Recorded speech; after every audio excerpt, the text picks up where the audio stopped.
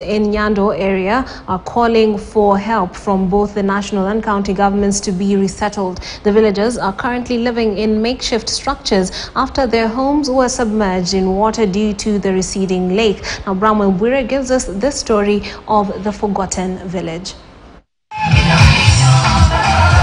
For the last four years, they've called these makeshift structures their home. The area is currently hosting more than 3,000 people whose homes were submerged due to heavy rains in the area, as well as receding lake that ate their homes. The lake water transformed the homesteads and the farmlands into water bodies and turned others into fragile islands. It is a weather phenomenon that has not only denied residents here the normal lives, but also made them IDPs. The effect of receding lake was last witnessed in 1963. Hapa maji sasa ni miaka tano tukiwa na sida, hata kuku ukiweka inakufa, mbuzi zinakufa. Kama saizi sasa nina shida, nikipata hiyo samaki kidogo ndio nikule na wajuku. Tangu ni hii maji yanze, hakuna hata mtoto nalala naye kwa nyumba, bibi ya mtoto, kila mtu nyumba moja tunalala, hata watu wote. Sasa mtu wako akikufa, maji imesika boma yako, mpaka utaenda tu u, uombe jirani akupee mahali pa kusika mtu. Since their displacement, they have lost at least 43 people, with 96 being born in the camp. They claim that the last time they received any help was four years ago, coming from Red Cross. We established that those in the camps are suffering from diseases such as cough, rampant malaria, and diarrhea. Umeona vile umbu ime, ime, imetambaa kila mahali, hata wanatuuma wana, saa hii. Mambo ya ugonjwa ni mengi sana.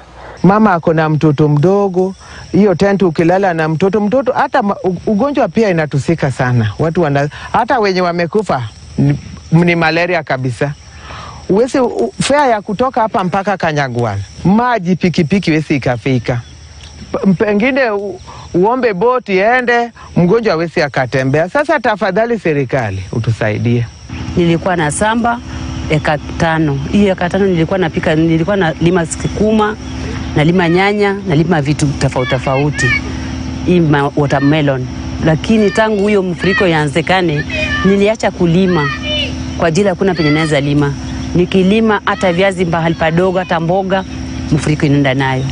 The nearest health facility dispensary is about 10 kilometers away from the camp, and the roads are almost impassable. Ukienda Kanyagwa lenyewe hakuna dawa, na hapo ndio hospitali karibu na sisi. Sasa tunaomba tu gavana Nyong'o alete dawa kwa Kanyagwal, ndio watu wetu wa hapa hapa Ogenya tupate matibabu hapo. Reports indicate that the rising waters of Lake Victoria has affected at least 37,140 households, 8,922 in Busia, 3,250 in Siaya, 13,800 in Kisumu, 7,752 in Homa Bay, and 3,416 in Migori. Bramwell Bwire, KTN News. Pretty unfortunate situation there. Let's move on to the war on graft, and that was the basis of our question tonight. We asked you, is it in order for the EACC to access suspects' bank accounts without prior notice? Wanted to know, is it in order